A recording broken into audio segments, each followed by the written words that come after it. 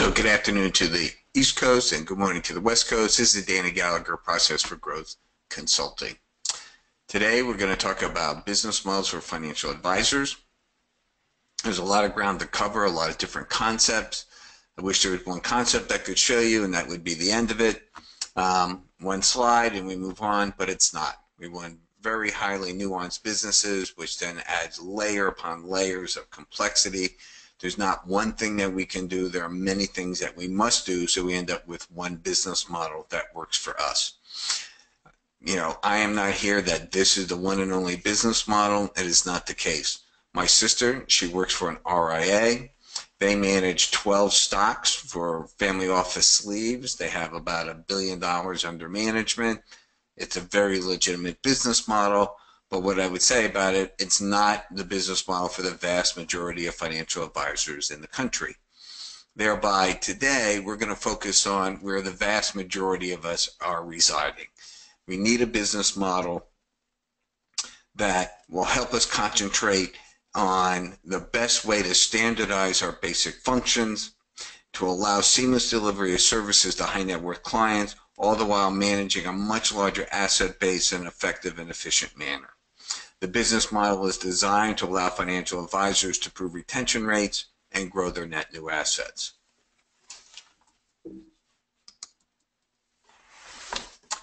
You know, five years ago, Uber came to New York City. At that time, the yellow cabs, whose business model was the main way of us getting transportation, ran a business model where there's scarcity of medallions and um, while asking the taxi commission to raise the rates based upon this contrived scarcity. So one of the stated goals of their business model was to drive the um, price of medallions up. In about 2010, 2011, they were worth 1.25 million to 1.3 million dollars. A lot of these were financed by a bank out in Long Island. So when you think about how their model worked, they tried to keep the cab on the road 24 by 7. All the revenues went to pay the, I guess, principal and interest or just interest on their loan, and then the rest was left over for them as earnings. Whether it was one person owned it or three, or was owned by a company, this is how the business model worked. Then along came Uber, who has a dispersed demand driven business model with dynamic pricing also based upon demand. Scarcity was out and demand was met by a business model that was driven by endless supply. The business models of Yellow Cabs was changed forever. A couple months ago, Medallion was put up for sale in the New York Times, and they put it up for sale for $250,000. When you think through it, you know, can you still get a yellow cab today? Yes. Is there a driver in that yellow cab? Absolutely. Is their business model the same as it was five years ago? Not a chance. Will there be financial advisors in five years? Yes, there will be. Will we be paid for the services that we render? Yes, we will be. Is our business model going to look remotely like it does today? I highly doubt it. Today, we're being attacked by many different new, um, whatever you want to call them, technologies, business models coming after us. And we know they're coming after us because we are the premium pricers in our business. We charge more than anybody to do our business. Whether you're charging 2% or 1.5 or 1% or whatever, we're the highest premium pricers in the business. So there's so many things coming at us that we, we gave it a name, right? FinTech. But what I would say about this, I don't know if one of these things is going to come along and take away our business. I don't believe so.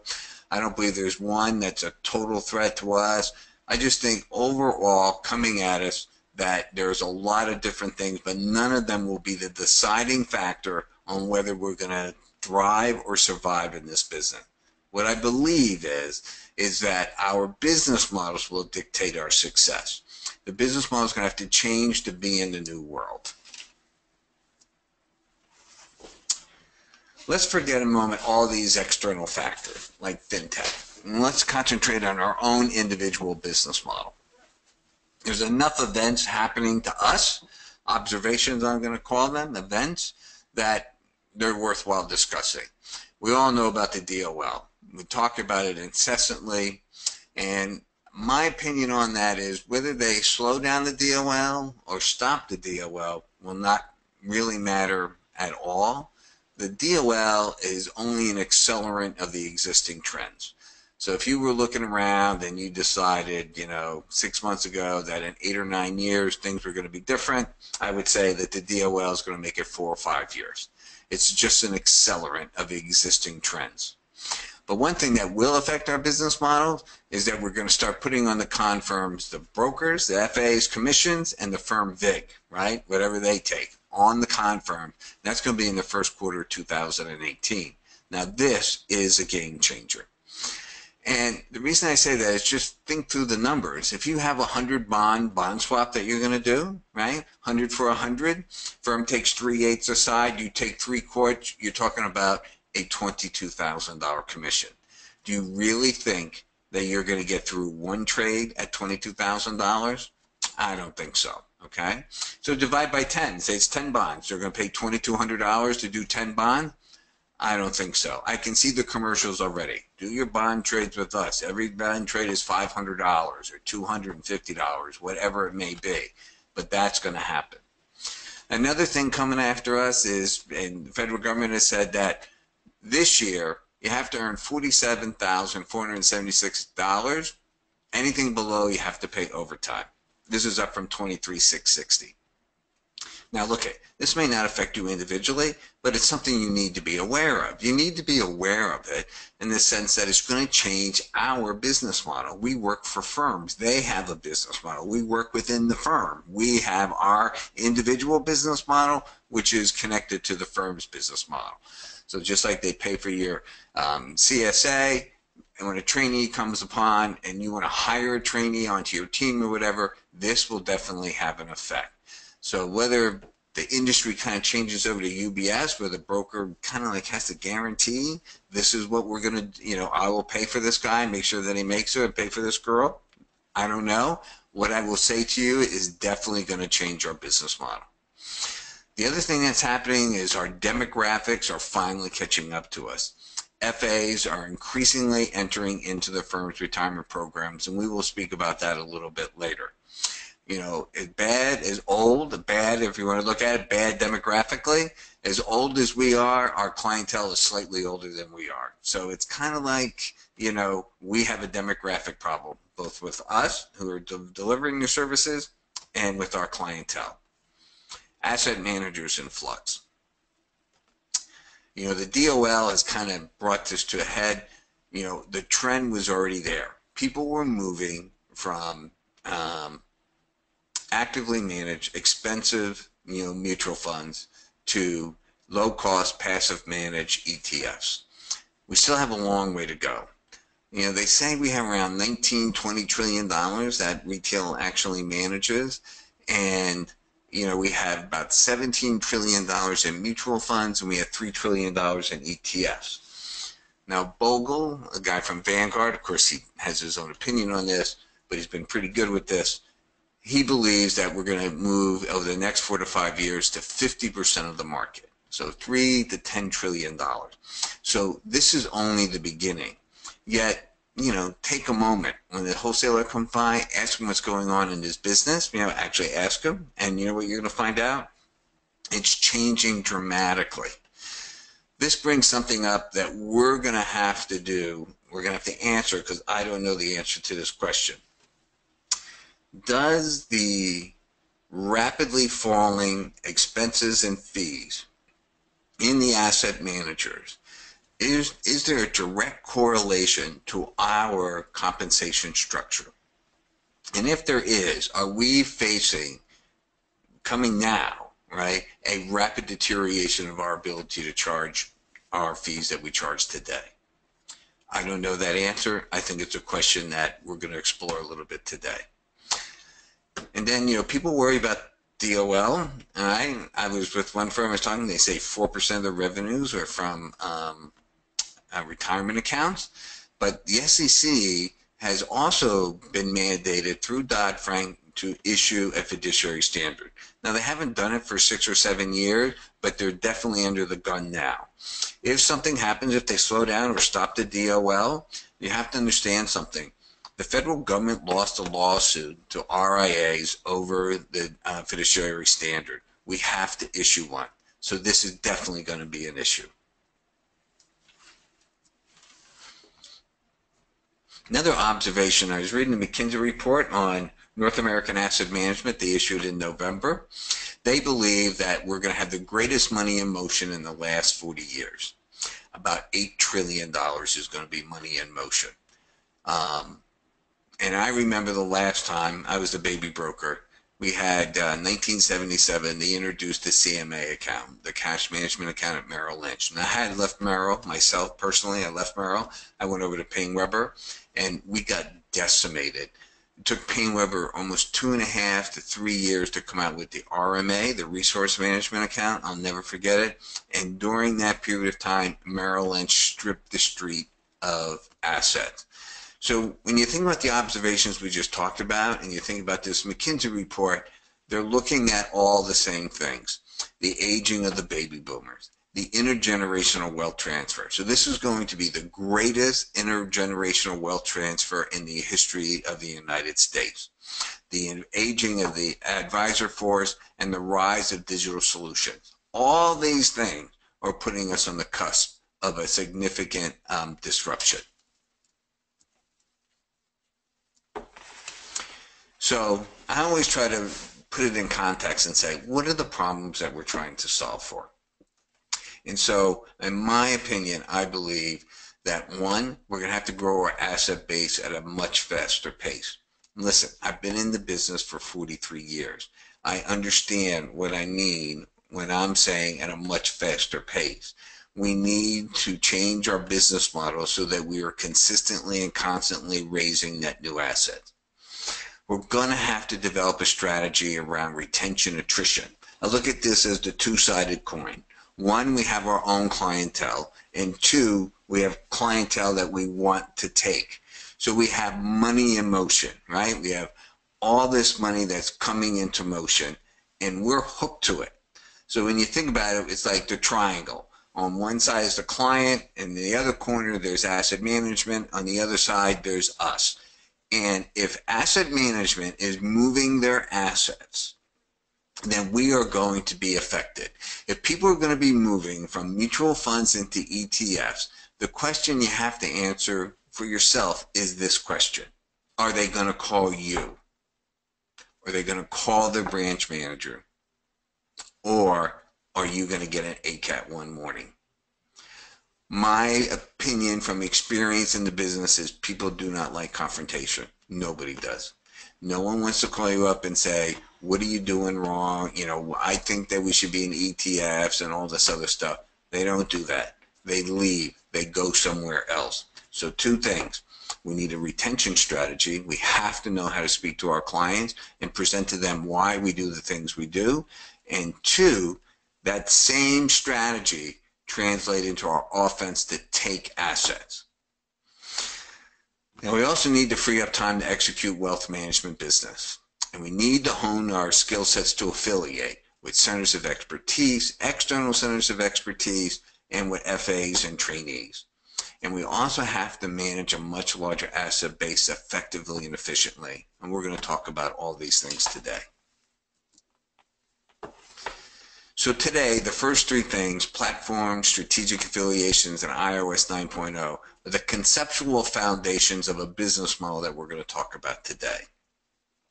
Again, everyone builds your own business model. How you invest money, how you speak about it, how you talk to people, that is, I'm agnostic. That's up to you. What I'm going to talk to you about is standardization. Also, we're faced with the Internet of Things. We are being affected by the Internet, and out of this has come what we call the new sales uh, cycle. And in this new sales cycle, we also have to realize that we're going to have standardized presentations because we have to be working a lot more on getting net new assets. And finally, critically important is our ability to affiliate in the future.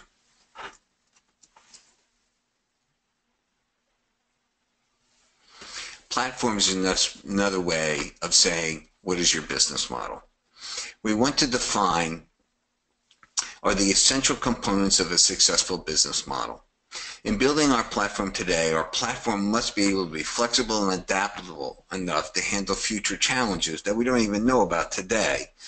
And we can be certain of what new business models will threaten our ability to remain the premier pricer in our business. If you look at a global financial institution, they have certain components of their platform investment banking, derivatives, asset management, equity trading, FICC, FX, and wealth management. Some of the firms do other do some of the things better than the others. Some don't have everything, but for the basic, this is what it kind of looks like.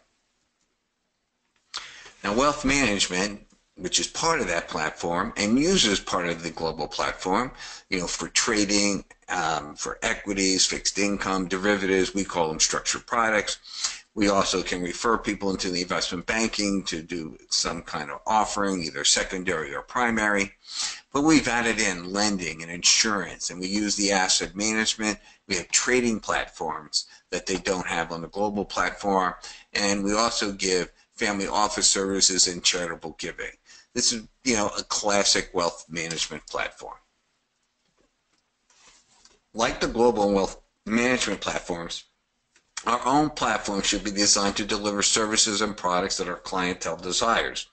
So in building our business models platform, we first must have to understand what our clients and prospects want from us. Before we start adding building blocks to our platform, let's try to understand what we know about our clients and prospects from studies. High net worth clients are receiving over 4,000 marketing messages per day we are not the only people who want their money. People want to sell them cars, they want to take them on trips, paint the house, fix the roof, clean the pool, do the landscaping. They are bombarded every day with messaging. The lesson that we should take from this is that we have to be highly professional and very, um, we have to be spot on when we come after a high net worth client so that they will hear us. High net worth clients put up very high walls for us to get over because they're sold all the time. So we must realize that we have to be good at selling to get over the wall. We have to do this much better than we do it today. Price is a consideration, but service and quality are key. And Oshley in 2014 found that only 20% knew what they paid in fees. Now, in two years, people must have been watching those Fisher investment commercials because even I know now that mutual funds pay 5% in fees and you pay 6% in, uh, in your annuities and who are they investing for, you or them. And so in 2016, I read over the holidays that now 33% know what they pay in fees, but that 27% believe they pay no fees at all. So there's still room to move here. People are starting to understand that things are different and they're starting to act. Also, we know from high net worth studies that high net worth clients want four things. They're interested in multi-generational transfers, i.e. they don't want to pay estate taxes. They want risk mitigation strategies. Think about it. You ever think a high net worth client walked into his accountant or his estate planning lawyer and says, hey, do you know a broker who can take my $10 million and and double it? Or does the guy usually say, hey, do you know a broker that won't lose me my money? It's not, it's not lose me my money. They don't want to pay any more taxes, and 82% want advice on all their financial needs. This is an issue for us because 99% of our revenues still come from investments. And finally, and probably most importantly, Two studies show that 80 and 84% of high net worth clients get their lawyers, accountants, and financial advisors through a referral. So there's also a physicality about our business.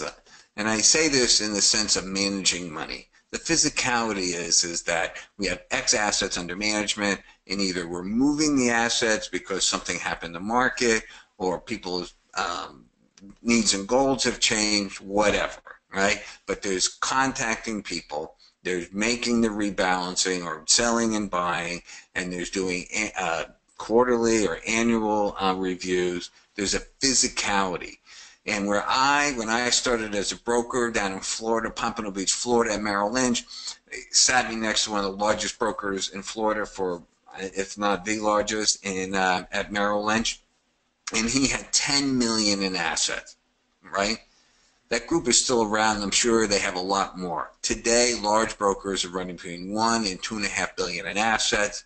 When I was a baby broker, we were getting paid like 250 bips on our ROA. Today, we're down around 70. Actually, uh, again, I was reading over the weekend that we've been hanging around 72, 73 basis points for the last four or five years, and this past year we dropped down to 69 basis points. So is this the, are we starting to see the deterioration? We're going to certainly find out.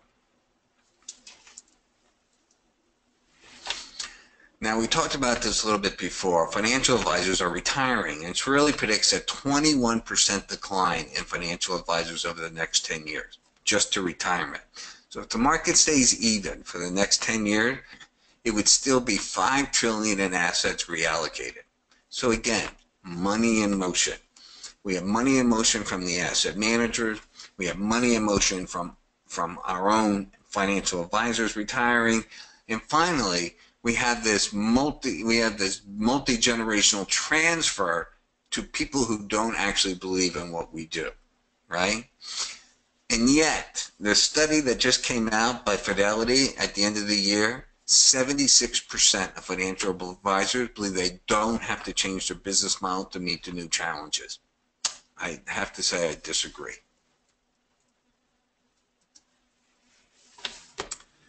so in many ways we're kind of like the six blind men and the elephant that the Raj said, hey, go touch the elephant and tell me what it is an elephant. They all touch a different uh, part and they all say it's different. It's a pillar, it's a tree, it's like a hand fan, it's like a wall, it's a rope, it's a spear. They're all right and they're all wrong. They're right in the sense that the sum of the parts equal the whole, and but they're wrong in that they're only touching one part of the elephant which comes down to us, right? We have the same problem. We have many different processes that we must be good at so that our business model works. We must be highly trained relationship managers. We must affiliate with centers of expertise. We must have a well-defined business development process. And when we get in front of a prospect, we have to have a first-class discovery process that's based on a on a stated wealth management process, and all this is built on top of a standardized investment process. Nothing is a throwaway, nothing is left to chance. FAs not only need to understand the current landscape, but we need to think through what the future holds for us and how to take advantage of the changes to survive in this business. one of the biggest things over the last 10 years that we don't really talk about is, is that the firms have standardized electronic service to us and to our clients. You know, I hear people complain about our financial uh, reporting. People don't like our financial planning software. All I'll say is you should have been there when we had none, zero when we didn't have electronic account opening, when we didn't have duplicate account opening, when we didn't, when it used to take a month or two months to do an annuity. I have one of my clients when we were meeting, he was complaining that he submitted the annuity like a day and a half ago and he still didn't have all the final approvals. It's crazy. But what we learned is that where the firms have standardized, we have not standardized our service to the client. And this is where we need to be so that we can be successful in this new world.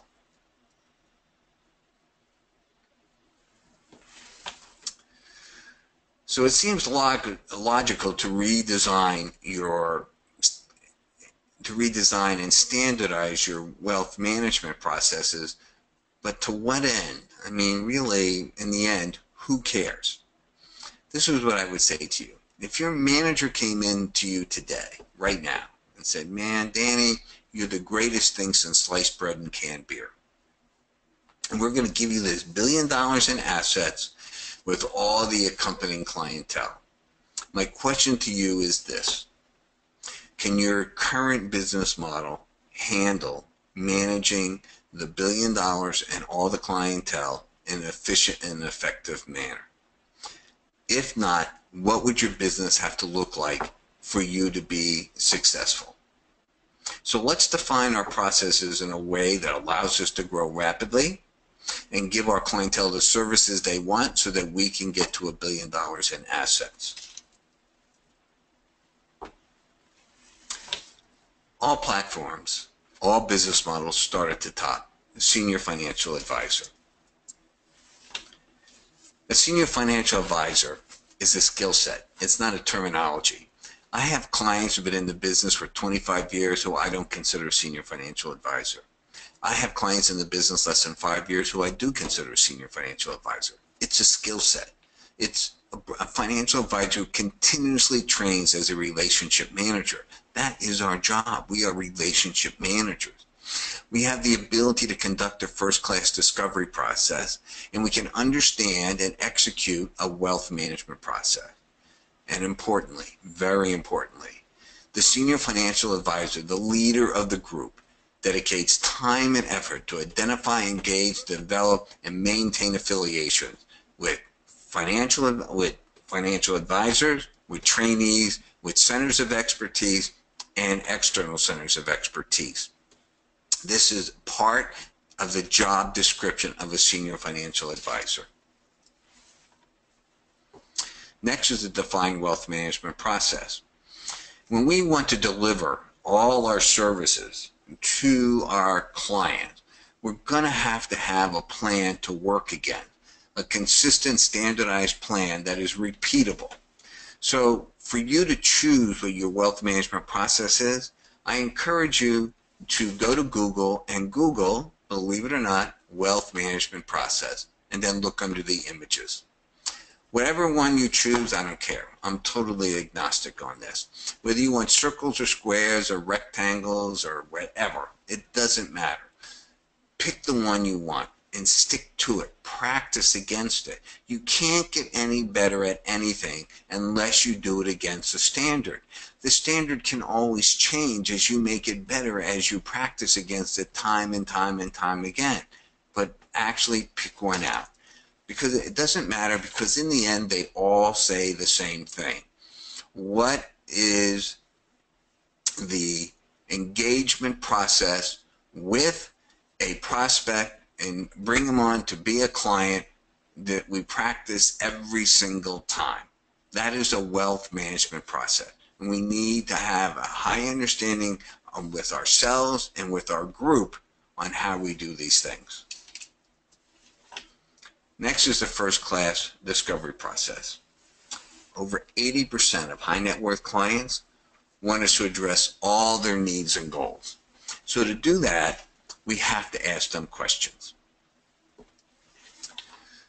And a discovery is the first step in moving from the product-centric business model to a client-centric, solutions-based, needs-driven business model. Remember, 99% of a financial rev uh, advisor's revenues are still coming from investment.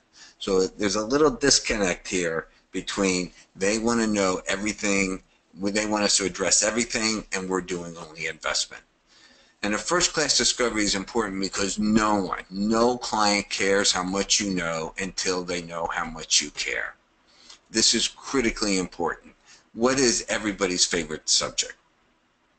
Themselves you have to let them know through your discovery process that your entire process, your entire wealth management process is to understand them and their needs and goals so that you can help them invest their money to meet their needs and goals. And when you're trying to differentiate yourself in today's world, and you're saying, I'm different, I'm better than someone else, less than 1% of financial advisors employ an in-depth discovery process. Less than 1%.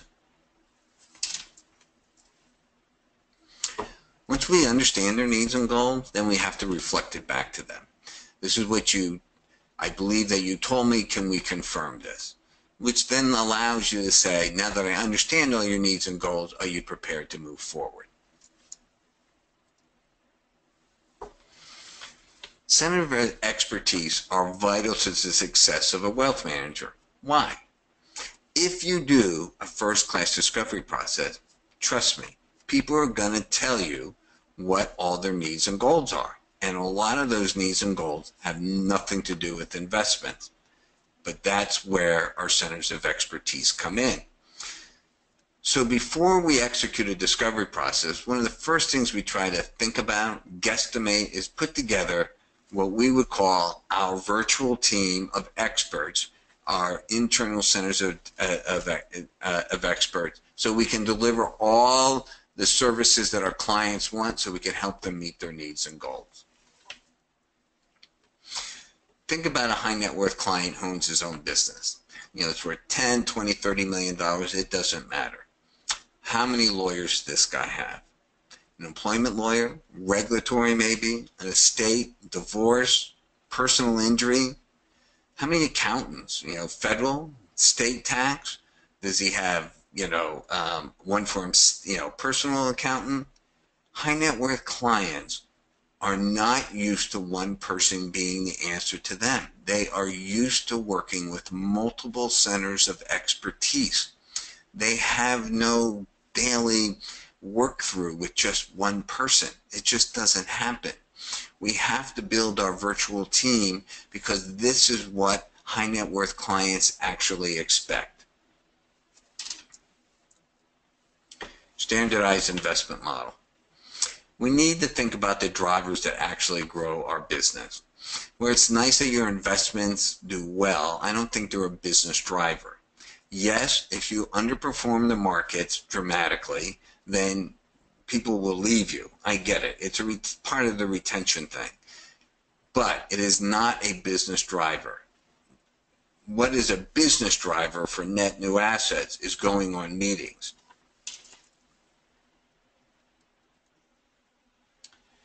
So when we build our model, a standardized investment process, there's three attributes it must have. It must be definable, repeatable, and scalable. Now, by definable, I mean that you can explain to me how you invest the money. Where everyone's worried about the robo-advisors because they say, um, oh, look, they're charging 15 basis points over 100,000 and 25 or 35 up to 100,000. They're going to lower my ROA. I disagree with that. We've been fighting for 40 years over ROA. Our fees have been under attack for years. But where the robo advisors will be dangerous to us, they define the way they invest the money and they have metrics built around it. We do not. So you must have a definable investment process. You have to be able to tell me how you're going to invest my money and why. Has to be repeatable, this investment process. What do I mean by repeatable? It's applicable to a large percent of your population of clients. It doesn't have to apply to them all, but it has to apply to a lot of them. Whether you use stocks, bonds, ETFs, mutual funds, or SMAs, combination of all, you know what? I'm agnostic to that. I have my opinions on what is the most effective and efficient way of running money, but that's not what I'm here to convince you that my opinion is better than yours. What I'm saying is build a repeatable model. It has to be scalable. That means discretionary platform.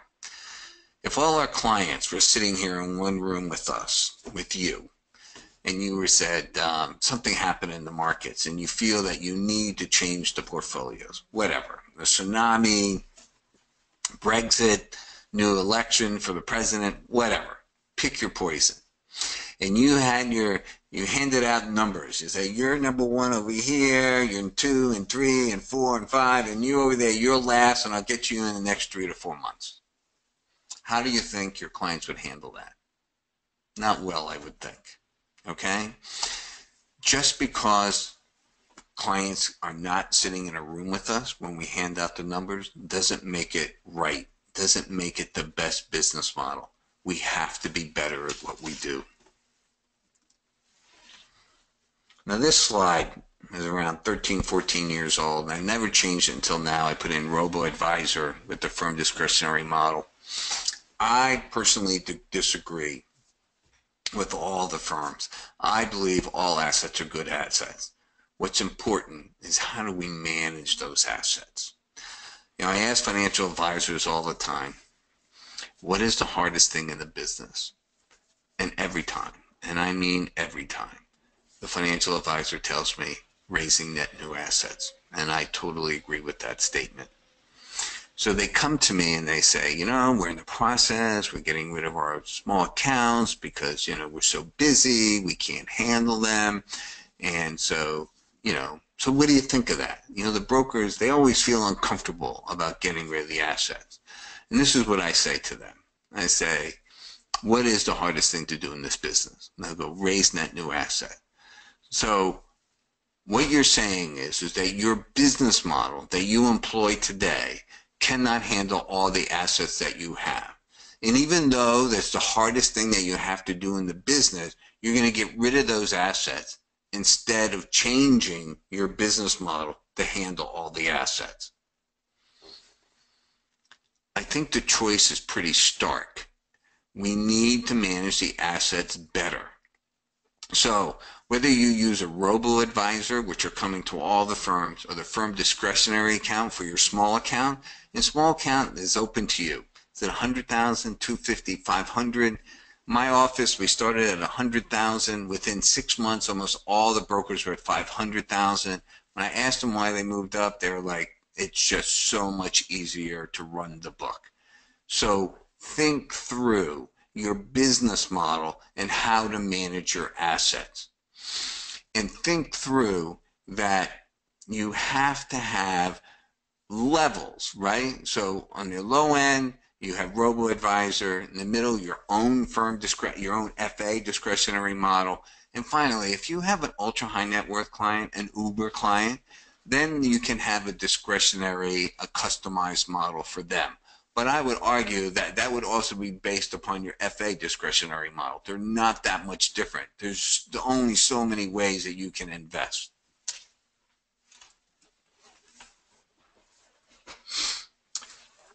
Standardizing your investment process, I have found is terrifying for most of the financial advisors. Today, we invest everybody's money just a little bit differently we all know the stories. You got 100 to 125 million in assets. You have 125 mutual funds. You got 220, 200 to 225. You got 250. If you have over 300 million, you have over 300 mutual funds. We invest everybody's money differently. So when you think about it, we're kind of like this, and we're wide open. We have no metrics on how we invest, nothing. And when I sit there and say, let's build a standardized investment model that we're going to use every single day, it is terrifying. You're being held accountable for the first time. And so, one, in starting to teach this, I know that FAs do not understand basic modeling concept. What's a risk parity model? Why would you choose that? What's an equal weighted one? What's a non-equal weighted one? A sector-based one? There's style. What are the different basic modeling concepts out there and why do people employ them? So the next time the wholesaler comes through and he's trying to sell you an ETF or a mutual fund, ask him if there's someone in his firm that does modeling, and they all have them, that you can speak to and ask him questions. Call, set up the time, spend an hour on the phone, and start talking about basic modeling concepts. The other thing is, is because we invest every way for everybody, we don't have metrics on our own investment portfolios. In other words, we don't do um, efficient frontier, uh, Sharpe ratio, upside downside capture, all the things that you would, for you to understand what your portfolio is and how it performs, we don't do because everybody's portfolio is different. This goes back to the robo-advisors. They define the way they invest the money and they have metrics built on it. So think about it. This is becoming the standard in the industry on the low end. If we want to remain the premium pricer, and we're going to have to introduce this to the high end, and we have to do it now. Get metrics on your investment portfolios. Then FAs don't have a defined portfolio comparison analysis. What do I mean by this? We don't we don't say to a client, this is the way I would invest your money. This is the way you're invested today, and this is the difference, right? Where there are analytics on investment portfolios that we need to know for our edification and our confidence that we built a good model, Clients don't actually care about that. Clients care about the five comparison factors. They care about uh, performance, dividends, expenses, taxes, and style drift. They're the five things, and we'll talk about them a little bit more in detail later. Amazingly, we always have to we have to have this confidence when we sell to people that we you know that we understand what we're saying and they have to understand us but we actually don't know how to sell an investment model. I.e., this is this is how I invest the money. This is why I invest the money. This is what it means to you. And so that's a whole process of talking to clients in a way that they can understand us. And we actually haven't developed conceptually how to sell an investment model, a standardized investment model. And finally, you know, FAs don't have the CPM designation, a portfolio management designation. Look, I know people say I have the CFA, I have the CIMA and stuff like that. The CFA is about product. It's not about portfolio management. There's about 303,000 different kinds of financial advisors in the country, no matter what kind, bank, broker, it doesn't matter. 303,000. And only about 250 or so, 60, have a designation, the CPM from ACPM. You know, one of my clients told me, and I thought he was out of his mind. He said, you know, it's harder to become a beautician in the state of New York than it is to become a financial advisor. So I Googled it. I looked it up, and I encourage you to do the same thing. And you know what you're going to find? It is actually harder to become a beautician in New York State than it is a financial advisor. Sad to say, but it's true. Discretion. We've talked about this. If you don't have the ability to rebalance most or all your clients at once due to market condition, how can you claim to be an effective and efficient advisor of clients' money in a 24 by 7 world? I would argue that you can't make that statement. I spoke with an FA. She had a huge business, over 800 accounts, and I think over 800 million in assets. And her team told me when I interviewed the team that it takes them over six months to rebalance the book. That is not a good business model in today's world. Who you are, what you do, and how you do it. This is the one thing I really don't understand about a lot of FAs.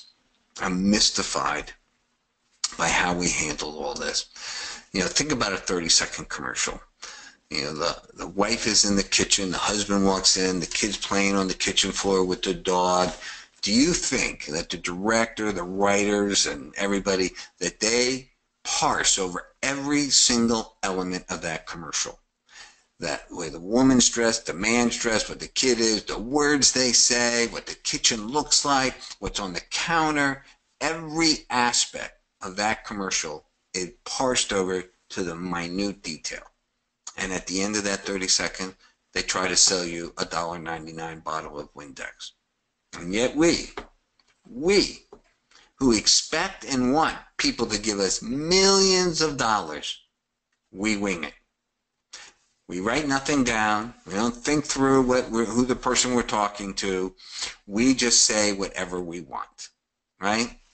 This is not right. So when I ask brokers, what do you do when you're out at a child's event or cocktail party and someone says, what do you do? And the vast majority of brokers tell me the same thing. I work for Morgan Stanley. I work for Merrill Lynch. I work for UBS. Let me ask you a question. What does that mean to somebody when you say those words? What does Morgan Stanley mean to them? If we had 50 people in the room here and we said, oh, I work for Merrill Lynch, what does that mean to them? Do you think they all have the exact same concept in their mind? Or does someone have a negative connotation to that? I mean, could they had a bad experience at Merrill Lynch? And really, what do they care? I mean, think about it. We can leave and go to another firm and our clients follow us. We know this. That's why recruiting works is because your clients do follow you. So in other words, what are the words that we use? Why do we not tell people who we are, what we do, and how we do it? And so they understand your group and your capabilities, right?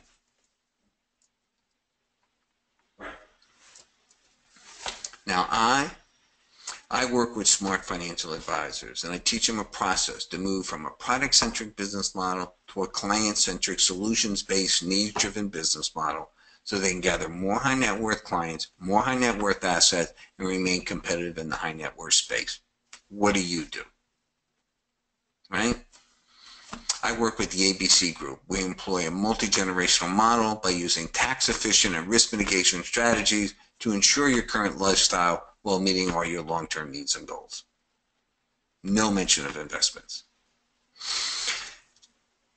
I believe that we should not abrogate our ability to define ourselves to our prospects and clientele. And when we define ourselves to our clientele and to our prospects, we must tell them in words that they want to hear. No one gets a new prospect by saying, Oh, I got this hot stock. We know the things they want. And in one sentence, we can tell them that we do the things that you want. They may not need all these things. They may need only one of these things. It doesn't matter. We're actually tell them that we understand them by our words and actions. Let's talk a little bit about teaming and affiliation. Teaming is hard. Everyone knows that. And for coming from me, who's been working with FAs for 15 years on how to build team, I will tell you that it is extremely difficult. There, you know, you have personality issues and you have um, money issues. But this is what I want to say about teaming, and, and it's the most important thing. So, in other words, if you're considering teaming, then there's one thing that you must have, and that is a standardized investment process. Why is that? The only reason that I know that brokers team is so that they can get scale. Okay? And if you don't have scale, why bother to team? And if you have two or three FAs that come together as a team, but they don't sit down and come up with one standardized investment process for the team, how do you get scale? Why would you go through, have all the money problems, all the personnel problems, all the issues that come along with the team if you can't actually get scale. And if you do not have a standardized investment process, it is impossible to have scale. So if you're thinking about teaming, the first discussion that you must have with the person or people that you're considering is can we come to an agreement on a standardized investment process? So let's look how we can set up our own ecosystem for affiliations. Why compare us against Apple? Well, Apple is the premium pricer in technology, right? And let's look at Apple versus Android and see if what the differences are. Android has 86% market share. Apple has 12. Okay? If you're an app builder, anybody in the world, and you're going to build an app, you came up with your idea, whatever it may be, who do you build it for first? Android or Apple? You build it for 86% of the market or 12%? Well, believe it or not, 88% of the time, all new apps are introduced on Apple. And interestingly, the average app on Apple earns $52 a share, $52 per app. On Android, it's $5. But even more stunning, all on when you look at all online iOS sales, 78% happen on an Apple device. Apple has a standardized, highly defined, easy to maintain for the people that they affiliate with. They affiliate with experts. Who are these experts? The app builders, right? They're, it's easier for companies who want to sell to affiliate with Apple. So they come together with Apple. You would think that if you had 86% market share that everyone would want to be with you, but it's not actually that way. People always look and say, wow, you know, Apple came out with the announcement they're going to 10.0, right? That's the big announcement. That's what everyone pays attention to. 10.0 today, downloaded, upgrade, and so forth and so on. But what no one pays attention to is that two to three weeks later, Apple comes out and they'll say 97%, 98% of all the devices in the world have upgraded to the new iOS. Or, or even when it goes from 10.4 to 10.5 or whatever, 97, 98%. No one pays attention, yet that is the most important piece of information. Android a couple months ago introduced 7.0, Nougat they call it. And in the announcement, they said, look, here is 7.0. But we want you to know that over 40% of all Android users are still on 3.4. 3.4. There are multiple, maybe up to 15 to 20 different major Android flavors out there. That is why no one can update. That is why if you're an expert and you're building an app, which Android do you build it for? If you're a company, how, how do you do this? How do you make sure that you're not constantly have to update on 15 or 20 different Androids so that you can sell your product? It's crazy. Standardization in the technology world is critically important. When you look at the Samsung 7 Edge, I would argue it's actually a better phone than Apple. But it doesn't matter. Apple's ecosystem is what is so valuable. There's now more than a billion phones on Apple. And then when you add in all the iPads and everything else, they have a, the biggest ecosystem, standardized ecosystem in the country, in the world. We need to do the same thing if we're going to be the premium pricer going forward. So in that vein, let's build our financial advisor iOS. Now I think iOS 1.0 is if if you haven't defined any of your um, processes, you have no standardization whatsoever. I would I believe this is what I call the pre-2007 business model, your iOS 1.0. On the other hand, if you have standardized all your processes, you can tell me who you are, what you do, and how you do it, and it's on top of a standardized investment process, I believe you're 2.0. Now, like the Apple ecosystem, we have an ecosystem that we need to build by affiliating with experts we can offer the clients all the services that they told us that they want. Now, the firm has hired these internal centers of expertise. They're highly trained. And best of upon, they don't want any of your piece of your business.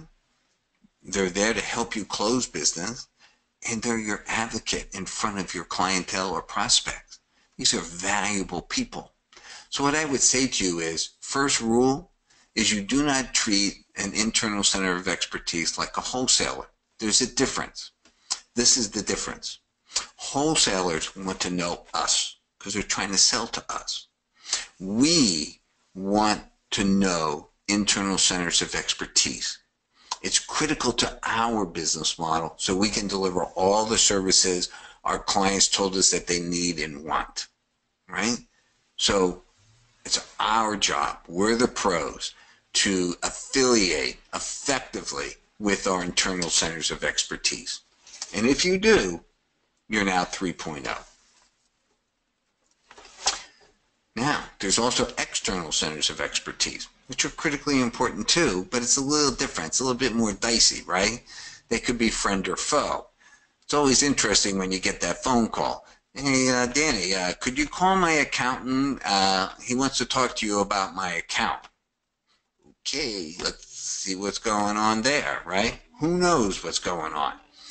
So we have to work extremely hard to affiliate with external centers of expertise. We do that by showing them how our platform is designed as a client-centric solutions-based needs-driven platform. So we understand the client, that they're important to us before we make any investment decision.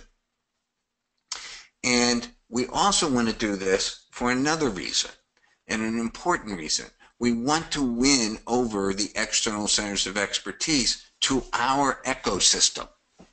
And the reason is, is 80 or 84% of all high net worth clients get their financial advisor through a referral. Who are the best referrers than external centers of expertise? If you have an estate planning attorney or accountant that consistently recommends you because he believes in your ecosystem, makes a big difference. Now you're 4.0. Now the firms have this defined certain financial advisors as centers of expertise. Now, listen, I don't believe, I, I really don't care who you are, that being that you would go to somebody and say, you know, manage my money, another financial advisor, whether it's fixed income or equity, most financial advisors don't uh, actually, I don't see them as being those kind of experts. Now, if you told me, like I have a client who is a drop dead expert on how to handle um, special needs children, you know, she's an attorney, she has a law degree. I believe that is something that you can do. You can be an expert at. And the same thing if someone can deal with extreme ultra high net worth. I mean ultra high net worth. People have 250 to 350 million dollars. These are people that are below a family office status. You need like at least 350 million to have your own family office. You know, hire somebody to run it for you. So that ultra high net worth, that's a special skill set. But the firms have said, look, there are certain things that we do in this business that you have to have an in-depth knowledge to because one, there's risk in the business model itself, and then secondly, there's compliance issues. So we have internet designated international brokers, 401k, cash management, stock option. These are financial advisors that have been designated with a center of expertise. They're not like us. They usually do one thing specifically, but they do exist out there and we need to be able to affiliate with them. You don't want to run a 401k. You want to affiliate with somebody. Take the 30%. We don't have enough time to sit there and do this all day. And if you do this, you're now 5.0. Now, this is what I call the base case for today's financial advisor. This is where you need to be. A lot of my clients say, oh, Danny, this is so much work to get here. And I'm like, yes, it's so much is so much work. But let me ask you a question. If in five years we're only being paid 30 basis points for managing people's assets, you will look at all these touch points, and that's what they are in your ecosystem, as revenue opportunities. That's the important point. You cannot look at the world as it exists today because the world is in flux think about where we're going and how you need to build yourself because we need to change. And one of the hardest things that human beings do is change. We have to give ourselves time to get this done. Like everything in life, you do one thing for a certain reason, then it becomes apparent that we open up new and different avenues of opportunities and as the standardization of my clients took hold, they taught me new avenues of business development. And the first one was with um, that if you have a standardized business process, that were actually a lot more helpful to FAAs, trainees, baby brokers, as I call them. Baby brokers need certain things for them to be successful. And so we need to think, because we're the ones with the experience and the knowledge on what we need to help them to be successful. And these are the questions that I have baby brokers ask groups. So if they hire me, baby brokers to me is someone in the business less than six months, and that includes I'm not saying six months live, I'm saying six months from the day they get hired. So when they're out and they're starting to look for an affiliation with a group or join a group, I don't think they should join a group. I think they should affiliate with a group. These are the questions I have them ask the groups. Can they answer these questions? Do they have a senior financial advisor does a discovery process? Do they have a defined wealth management process? Do they use discretion? Do they have a standardized group and investment presentation? And then, of course, do they have designation?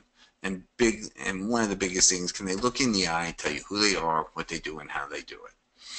These questions are not a comment upon the success or how good any group or team is out there. None whatsoever. It's an observation of what a baby broker needs to be successful. That is what this is for.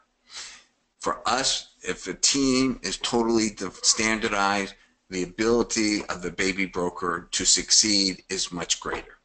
You might say to me, so what do I care? I don't care about this. You know, I don't want to take the time and the effort to be affiliated with a with a baby broker, with a with a trainee. Look at the firms define a successful trainee that they raise 15 to 30 million dollars in their first two years. Now, the average of my teams, and again, this is anecdotal, I don't have like a huge, you know, thousands of brokers to look at, billions upon billions upon billions of dollars. But on average, they capture around 30% of their FAAs that they affiliate with of the asset. So if you work it out, that's between 5 and 10 million over a two year period.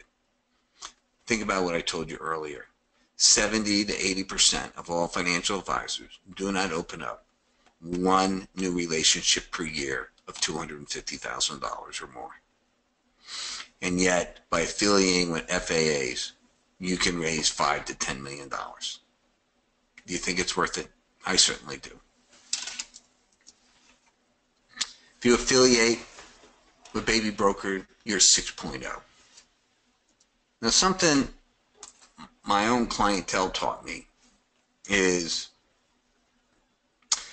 that brokers, FAs, established financial advisors, want to affiliate with teams to have all the in place, all the standardization. I did not tell them. They came to me and told me.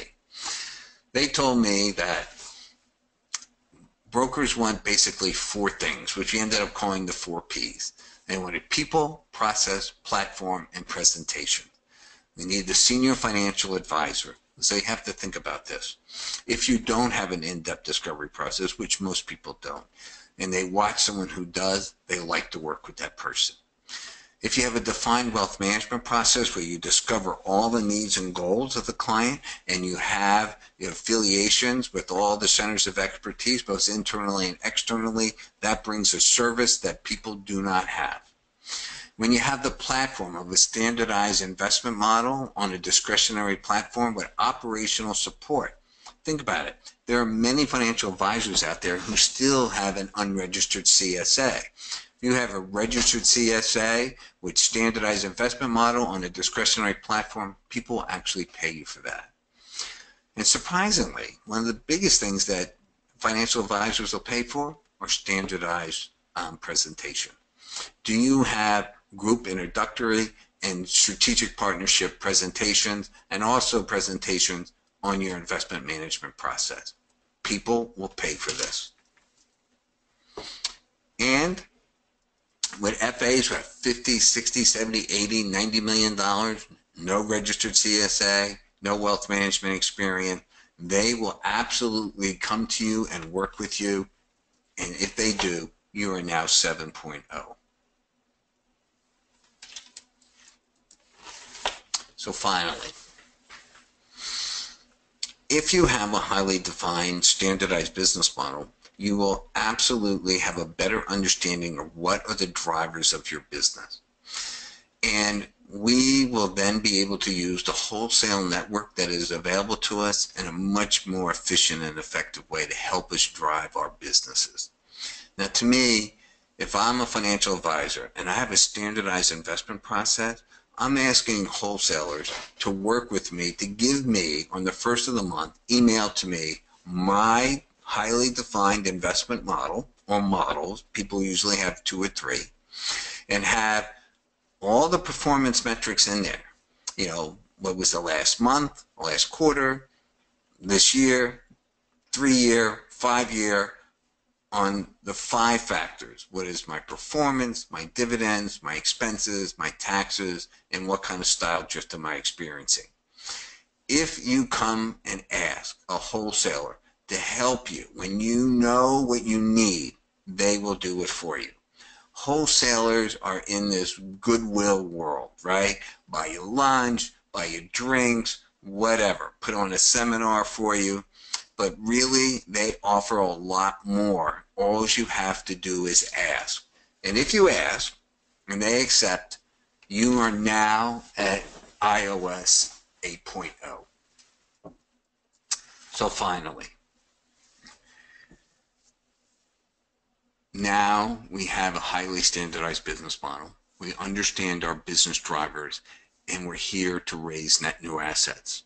We concentrate on getting referrals from external centers of expertise, and we also concentrate on getting them from our own clientele. That is what the senior financial advisor's job is to do. But there's another thing.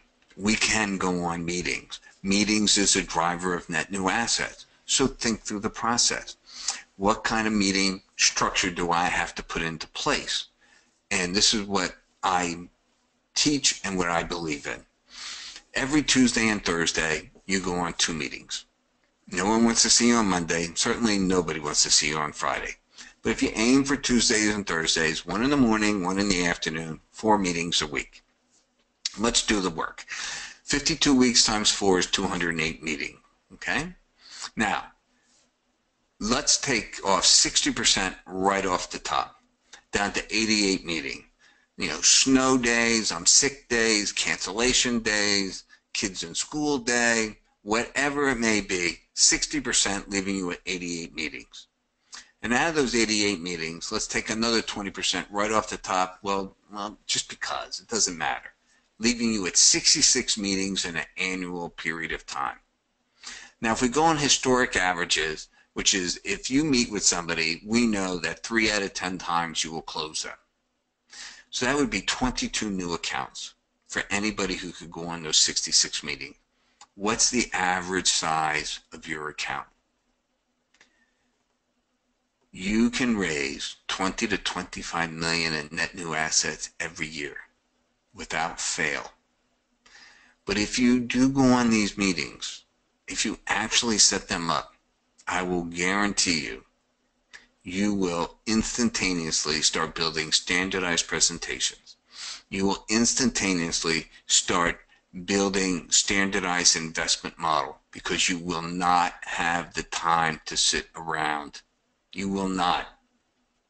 This is the difference. When I say change your business model, I mean there is money in motion everywhere from retiring FAs to asset management to intergenerational transfers, all this money in motion and we need to go out and get as much as we can if we're going to not only survive in this business but thrive in this business.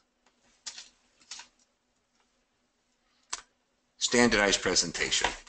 All these concepts are great, but I don't believe in concepts unless they can be put to use, right? Unless it's a real thing that can be done. So when we look at standardized presentations, we want to develop the base case standardized presentation and then add slides to reflect the goal of the meeting. So the presentations always start the same. Who we are, what we do, and how we do it. The ending change because of who we're speaking to, okay, and for what reason we're speaking to them. So let's run through actual presentation by a team of mine. Again, remember the concept. Who you are, what you do, and how you do it. So who you are, here's the support staff, here's all their certifications, telling you who they are, all right? And also point out on the certifications here is that these are the people that you're competing against out there. get certifications, get designations.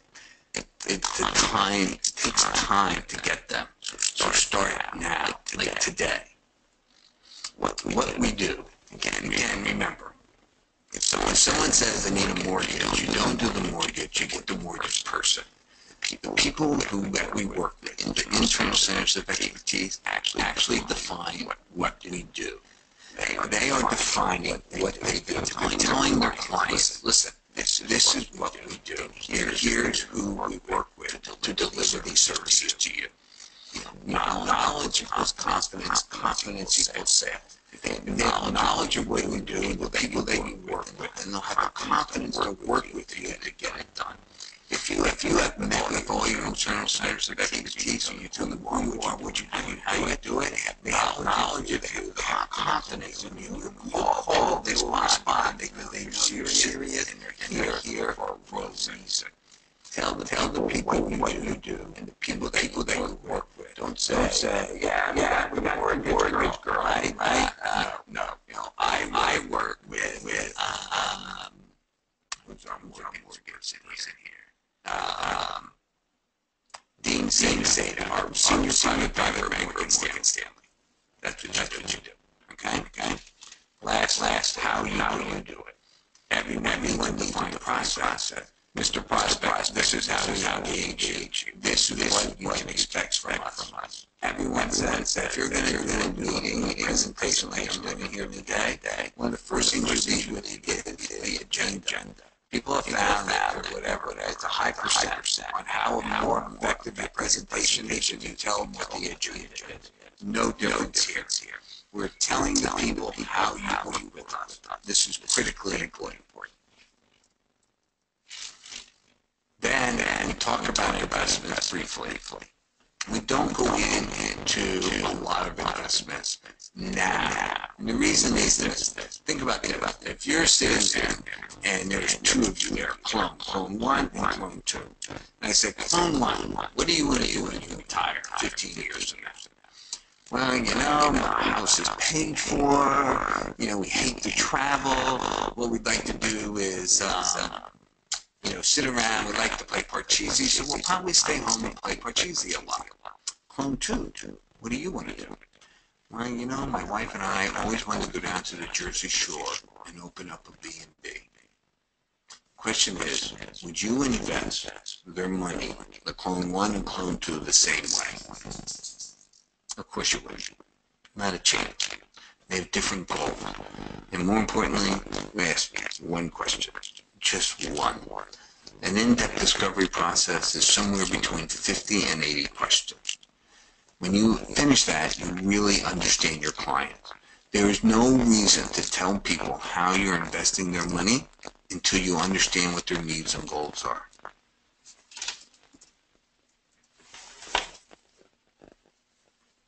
Now, I tell you that a lot of my teams are affiliating with other financial advisors and trainees. This is what I'll say to you. I make them write down what are the terms of agreement that we come to for you to work with me. And usually people come up with two or three, if not a little bit more, ways that you can work with us. And you set up all the stuff. This team says they have to be 2 million eh, of investable assets. And if, and if they handle everything, partner, senior financial advisor, um, doing the discovery, investment proposal, mutual commitment meeting, the closing meeting, uh, involved in reviews, phone calls, and everything is 50-50. If you want to use their professionally managed discretionary portfolios, it's 70-30. Okay, and the FA retains control of the of the um, of the relationship. But then they offer there's other ways. If you want to do insurance or whatever, they'll work with you on different things. Financial planning, case by case. These are the things that we write down because we're professionals. And if we want people to work with us, they have to understand that we're making them a professional offering. In today's world, and you think about a retiring FA, if you want to work on retiring FAs, which is a really good idea in today's world, you better write down how you would work with them, right? Important. Okay. So think about who you are, what you do, and how you do it, and then your presentation. Now, this is an example of a presentation with a senior FA who decided to work with his team.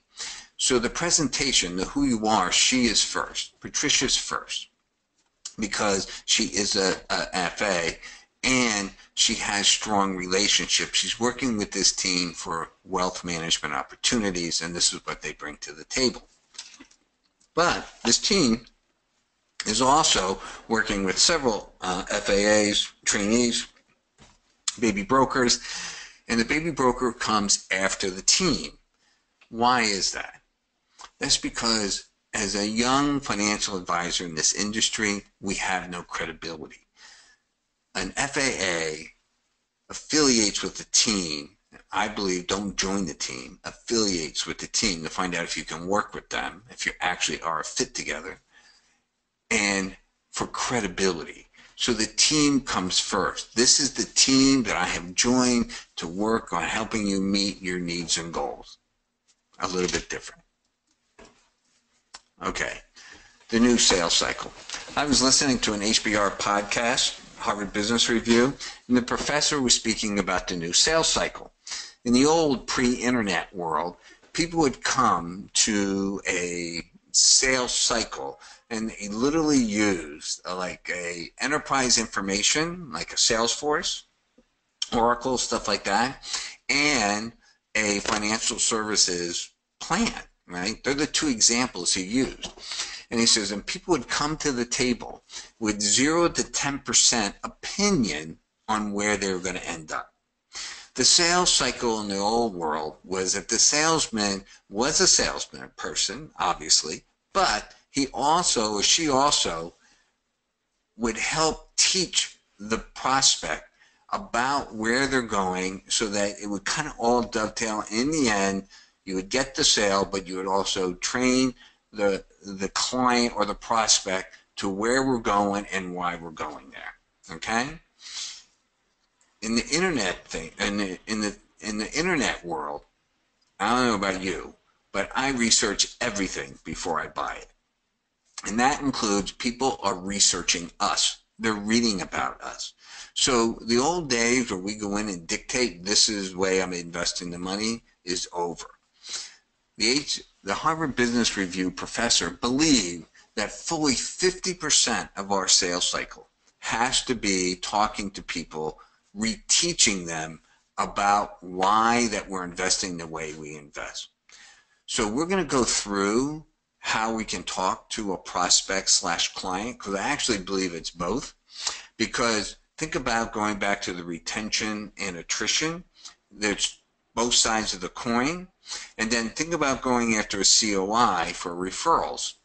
Referrals are very interesting. There's only three possible people that a referrer can actually refer. You can refer a family member, a friend, or a colleague, a business associate, right? And all three of those have ramifications if we don't do our jobs for the referrer. I mean, can't go home for the holidays, can't go bowling with his friends on Thursday. And when he goes to the office every day, someone could be mad at him because we failed, right?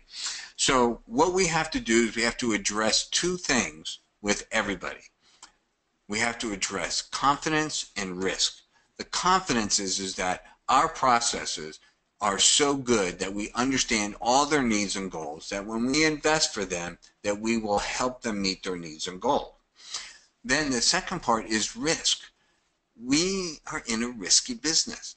Think about it. We can um, work two years on a prospect, do all the right things, finally get the prospect, take two months to board the prospect, and then invest the money. And as soon as you ended up investing the money, the market could drop 10 or 20%.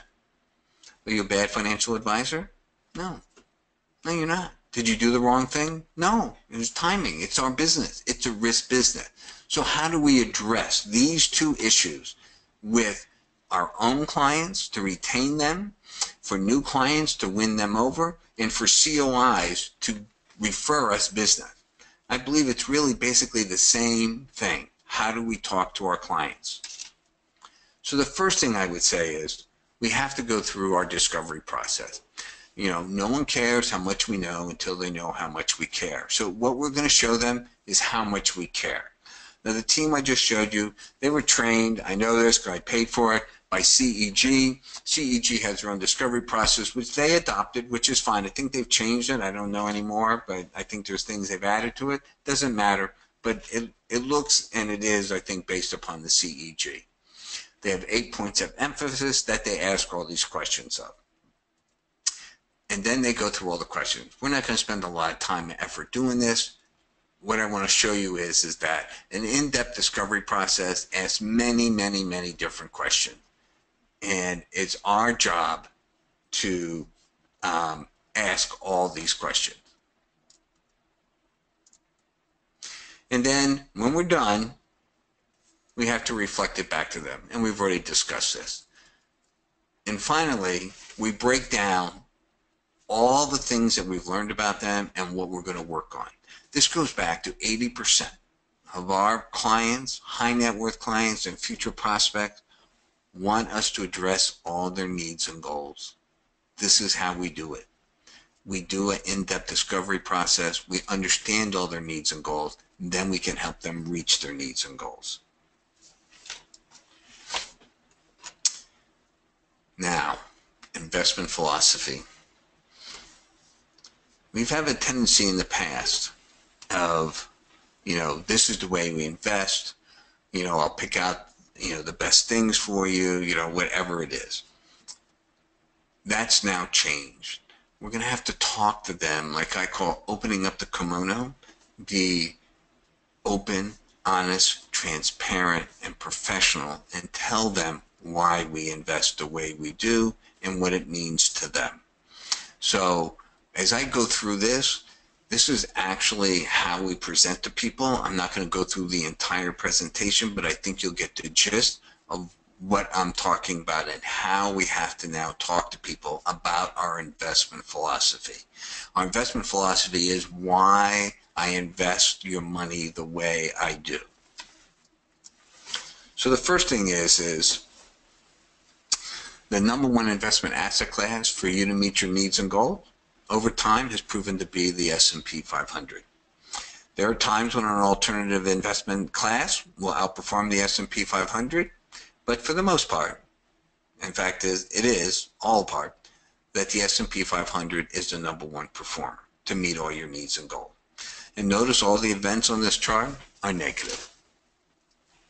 So the next question is, is what can we expect in return? Well, you can expect 10% a year.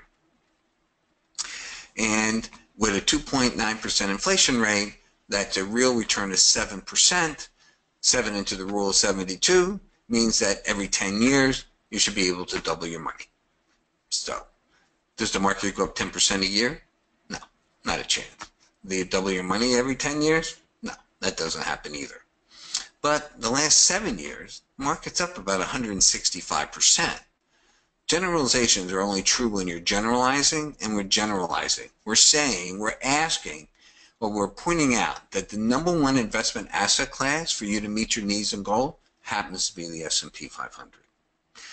And because of that, we can help you meet your needs and goals by investing in the S&P 500. So the only question that's left to me is, what are the ways that we can invest in the number one investment asset class for you to meet all your needs and goals. And there's four ways. You can buy individual stocks, you can buy mutual funds, you can buy separately managed accounts, or exchange rated, exchange traded funds. These are the investment vehicles that are available to us to meet all your needs and goals. They all have their different attributes, both negative and positive, and we do spend, you know, 15 to 20 minutes going through this slide, explaining each box very in detail because we're trying to explain to people, show them this is our thought process on why we invest the way we invest. There's the good, the bad, and the ugly, and because of this, this is what it looks like, right? Once we understand, once you tell people this is the investment vehicle I choose or the investment vehicles I have chosen for you to meet your needs and goals, Then we talk to them about our portfolio management. That look, we have a core asset class, whether it's sector ETFs or however you want to do it. And then, of course, you know, we're intelligent, experienced people. So if there's any tactical things that we can take advantage of to increase your yield or increase your performance, obviously we try to take advantage of that. And we do this all built upon metrics on our portfolio. So here's some clients of mine, not the clients you've seen. And they were 100% mutual funds. I asked them to do a comparison analysis. So they took their um, mutual fund portfolio. I told them to pick their best one, right? Whatever. And we then went out and they built an ETF model. They talked to uh, asset managers, wholesalers, talked to modelers. They read some whatever, I think some articles and got books. I mean, the guy was really smart, what he did. So he built his model on what he felt was the best way, and then he ran the metrics on it, right? There's no reason to build a model, a standardized model, without running your metrics and make sure that you do have a good model. Again, metrics is for us, for our confidence in our model and our edification so we can explain it to the client. And then we do the comparison analysis, this powerful thing that we don't bother with at all, right? Here's how I say to invest your money. Here's the way you're invested and what's the difference to you on performance, dividends, expenses, taxes, and style drift. Now, style drift we're not going to discuss today. It's more in depth. I have a building a standardized um, investment process that I talk about this far more in depth. But for today, we're just going to kind of like skip over it. But we all know what style drift is. If you buy a um, large cap uh, mutual fund guy, is he only invested in large cap or does he invest in uh, mid, medium, mid cap, and small cap? Of course, he invests in them so he can juice his yield. Last year, we found out that these unicorns, you know, the billion dollar companies that are not public, that who's the biggest investor in them? But mutual funds mutual funds are buying unicorn. That's fine. I mean, I personally have nothing against that, but it's style drift. It's not what I signed up for. I signed up for large cap stocks. And yet you now own unicorns in a, well, there is no market. You can't buy or sell it. It is what it is. That's what we call style drift. So when they did the analysis over one and three years, I like one, three, and five years, but this is one and three years. This is what they found, right? You can see the performance here. Um, obviously, a major differential there. You can see the difference in dividends. It's too major here. It's the difference on how they built their portfolio, okay? Working with a lot of uh, FAs on this, there is a difference, and usually the ETFs do have a better dividend rate than, let's say, mutual fund, but it's not this stark. It what it is is when he built his ETF model, he was a lot, he was allowed for this first time to be a lot more specific on what his clients, what he wanted for his clients, and was able to invest in dividend yields. Okay, but you can see the difference in expenses. Over three years, 267,000 versus 34,000, and taxes 218,000. Now there's a firm out there called PriceMetrix uh, with an X at. They were just bought by McKinsey. They're in a like I don't know some kind of enclosed system of RIAs. Have about three billion dollars or three trillion dollars on there, and they can watch what's going on. And they have a white paper. You can go to their um, resources on their webpage. They have a lot of white papers there. It's certainly worth reading. And in those white papers, they one of their white papers was on taxes. They say taxes are three times more devastating to a portfolio um, performance than expenses are. And anybody who saw the article in the Financial Times on the on the um, 366 um, large cap uh, mutual fund. Um, last year, they the taxes were worth 1.75% on average, all right, for the 366, lowering the performance, just the taxes, right? And it was funny, I was telling one of my clients this, and he was saying, Danny, I have one that's like over 9% the taxes. So the average reduced performance by 1.75%. Now, when you look at this, this is a $5 million account. And if you just take in the taxes and the expenses and even the dividend, it, over 15 years, it's about $2.5 million. So if you said to a client or a prospect, you know, Mr. Prospect, if you come with me, the difference to you over 15 years, forget performance, we won't extrapolate that out, is is um, two and a half million dollars on your five million dollar portfolio. Is that significant to you? What do you think the client would say? Now, there's also ramifications for us on this. Five million into a hundred million dollar book goes 20 times, right? It's not a good way to do it. But if you look at it, you're actually seeing a situation where you could be have another $25 million over 15 years that you could be paid a point on. There's ramifications on how you invest people's money. Remember, there's two fees. The fee that they pay us, which is important to us, but also the fees that are embedded in the investment vehicles that you choose for them to meet their needs and goals. And if we choose high expense and fee investment vehicles, it lowers their performance, but it also lowers the money that we have under management that affects our pay. And at 1%, you may say, ah, no big deal. But at 30 basis points, I think it would be a big deal. Okay. This is how they show their clients, and I think brilliantly, brilliantly their portfolio. And it's because of the third column. What we're basically saying is, look, we actively manage your passive, uh, passive investment vehicles in a dynamic portfolio. You're overweight, equal weight, or underweight, and there's multiple reasons. And again, repeat myself, in my standardized investment process, we talk about why we do this, how we talk about this. All right? Well, today we're going to skip on. All right. Group affiliations all these concepts, can you actually put them to, to use? And this is what we're going to do. We're going to talk about how people put it to use. I have a group, they're very highly defined, highly standardized. They have relationships with three FAAs, trainees, baby brokers, whatever you want to call them, okay? One's a one-year man, two-year year, three-year man. They try to get a person every single year you know, it's funny. I was asking my FAAs, my one, two, and three years. I said, the first year, man, how much time do you spend on business development? He goes, 90% of the time.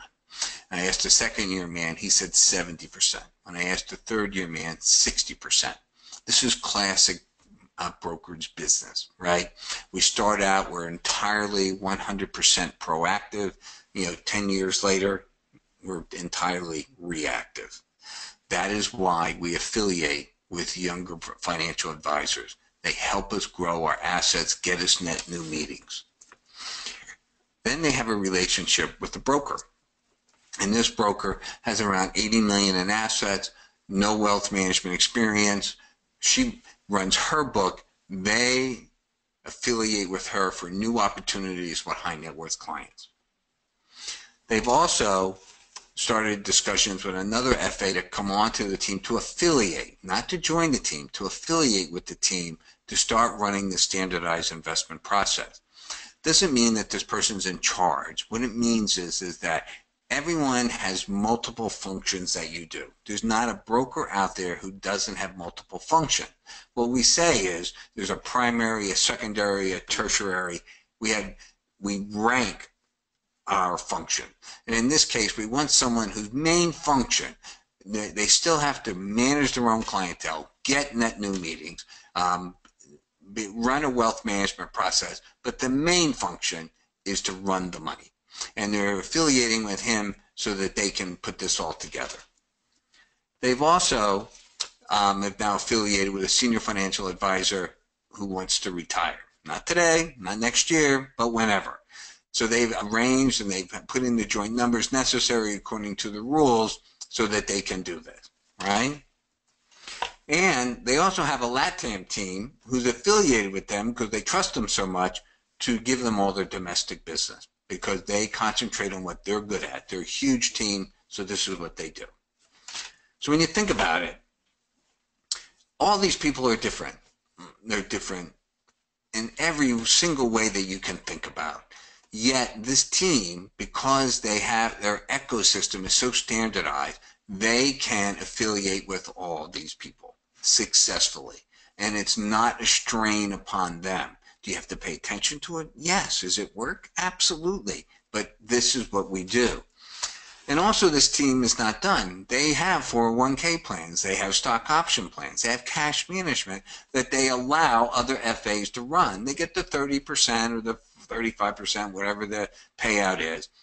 But the point is this. You can affiliate with a lot of people if you're standardized and you can get things done, grow your net new assets. So finally, I want to talk about Mr. Lencioni. He's written all these books. I have no connection to the man whatsoever. I've only read his books, and um, I think all the books are definitely worthwhile reading. Uh, in particular, the Four Temptations of a CEO. We are CEO. We are CEOs of our own business, and the Five Dysfunctions of a Team. If you have a team, it's certainly worth reading. But the third temptation of a CEO was clarity over certainty. And what he says is this listen, if a CEO waits until he's certain about the future and how the future is going to affect his company before he starts to move the company in that direction, it's way too late. The CEO has to have clarity. Once you have clarity of purpose, where we where we think we're going, with a high degree, 80%, that this is where we're going. Not certain, but with clarity, that's when we move. So in that light, with this in thought in mind, this is my clarity over certainty. With great clarity, I believe we'll have to manage a lot more assets. And I mean a lot more. Whatever you think in your mind, it's wrong. I was with this guy, he's 1.3 billion. he's very much, we very much think along the same line. I told him, I said, hey, I always believe that we're going to have a billion, you know, I teach people for 10 years we need a billion dollars. This guy's a billion three. He was like, no, Danny, the answer is 5 billion, okay? Whatever you think is the amount of assets we need, trust me, it's a lot more. With great clarity, I believe we'll be paid less than we are today. We are definitely going to face more fee compression. The only question that I have is, is it going to accelerate? With great clarity, I believe we're going to experience higher attrition rates whether it's 6% or 15 or 10, they're higher. And if it's 10 over 10% a year for five years, that's 50% of your book at risk over the next five years. We need to develop strategies around that. With great clarity, I believe the firms are going to move to a transparent pricing model. Why is that? If our fees drop to 30 basis point, I think the firms will be forced to allow us to charge for our um, knowledge, right? And if we're going to do that, there's a lot of ramifications for the firm's model and our model, but the number one ramification is with great clarity, I believe that we're going to be need a lot of designations because if we're going to ask for remuneration, people are going to say, why should I pay you money? Well, here, I have these designations. With great clarity, our success in this new world is going to be on our ability to network, affiliate, like Apple, we need to build an, a standardized ecosystem so that we can affiliate with multiple different experts and different businesses. It's just where the world's going. And I believe that to standardize our business processes, we can more easily affiliate. It won't make it easy, but it's easier and with great clarity, I believe that the appropriate business model to manage a billion in assets is the same business model we need to employ today to get to the billion in assets. And with great clarity, I believe it's you, us, that will develop the business model of the future, not senior management. Senior management has their own day jobs. They don't look at our business the way we do. They look at us in aggregate. That's how they look at us, right? So we're so highly nuanced as a business model that it's high complexity. We need to be on the ground. We need to be at ground zero. Who better is, is there to build our model of the future than ourselves? We have to realize that it's our job to do this. So what I would say to you in the end, finally, is fail forward. Fail fast, change fast. In other words, try. Try anything so that we can fit into this new world. Are there any questions or comments for the good of the whole? Please let me know. Reach out and contact me. I'd love to speak to you. And I wish you all good luck. Thank you very much for your time.